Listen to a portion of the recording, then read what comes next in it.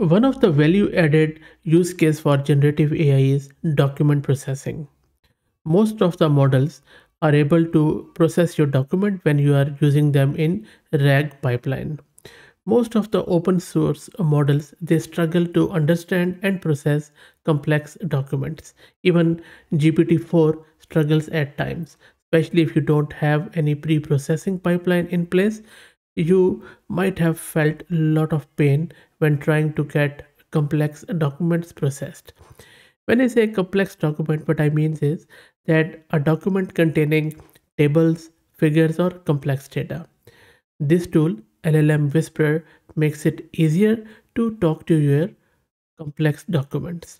Plus, it does it very, very easily. So in this video, we will be trialing this tool, which is called as LLM Whisperer so, and we all know that LLMs are quite powerful, but their output is as good as their input. So, garbage in, garbage out. So, you can't just simply throw your documents into LLMs. You need to have a tool which does some sort of data cleaning, data pre-processing, and then you would be able to get intelligence out of your document. And that is exactly what this LLM Whisperer does. That plus also um, we all know that layout preservation is quite important. But if you just simply throw your document in, it is there is every chance that LLM won't be able to preserve your layout. Plus, also if you have checkboxes, radio buttons in your document, then there are very very few RAG pipelines which can take care of those.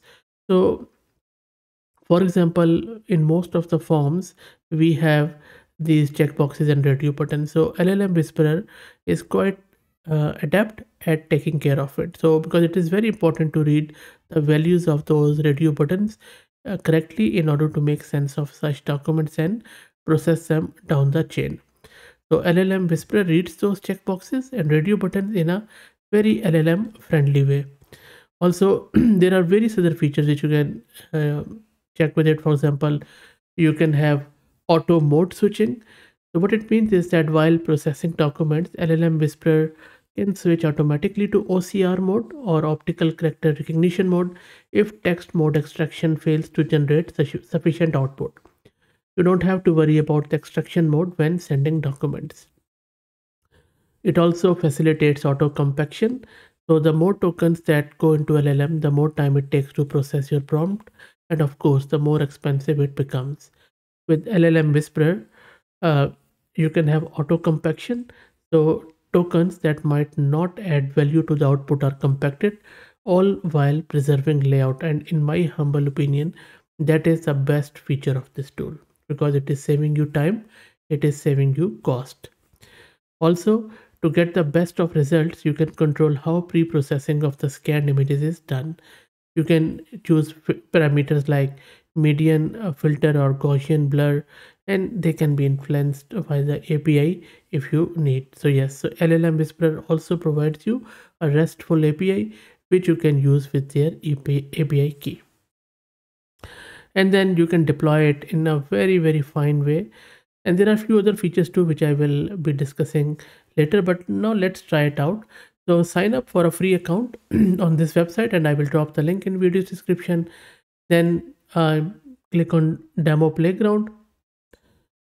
Before that you will be presented to this screen after logging in and then this is a playground. Now on the right hand side you can upload any document or you can just simply check out from their supplied document. So let me first try out try out with my own document. I'm just simply going to upload a table in pdf format you see that I have uploaded this table.pdf click on submit. I'm not a robot. And then it is extracting the text and I will let it run. I also want to show you the speed of it. Because this is one very very important factor. If I have hundreds and thousands of documents speed matters. There you go. So you see it has very very correctly identified the table the um, of course those lines of table borders are not there but still if you look at it it has done wonderfully well. And if i quickly go through the numbers i don't really see any error there. All the numbers are very very correct even to the comma. And spaces are there. And even it has in the third row if you can see it has even put in the parenthesis so how good is that? And because this is a playground you can only process two pages of pdf so but i had only one so it's all good.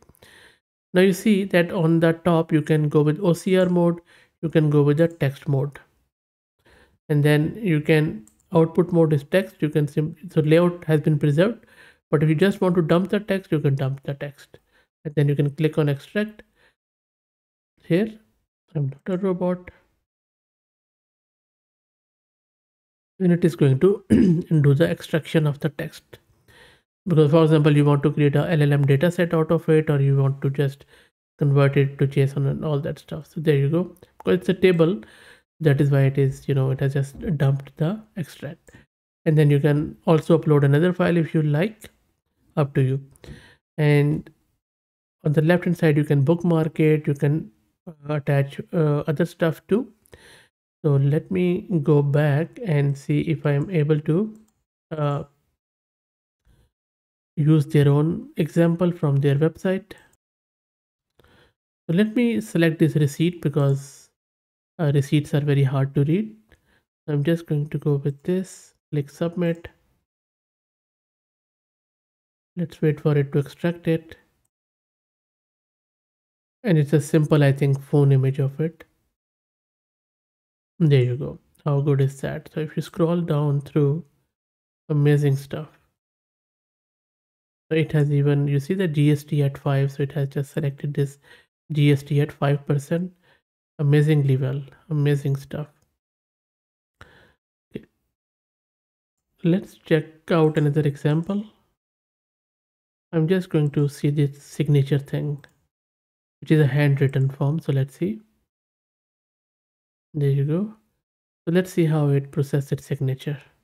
And then you see the date. And look at this. The date was 10, 15, 23 handwritten. But how nicely it has done that. And then we have these checkboxes. And look at this because uh, in the handwritten form, the other was selected.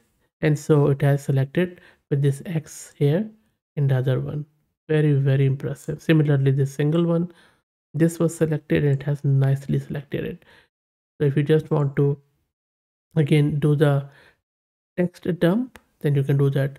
It hasn't pulled out the signature by the way but that is fine.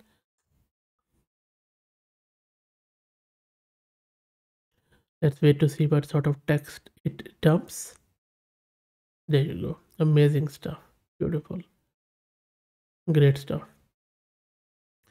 So that's it guys. Very very impressive tool. I will drop the link to it in video's description try it try it out. Let me know what do you think. If you like the content please consider subscribing to the channel. And if you're already subscribed then please share it among your network as it helps a lot. Thanks for watching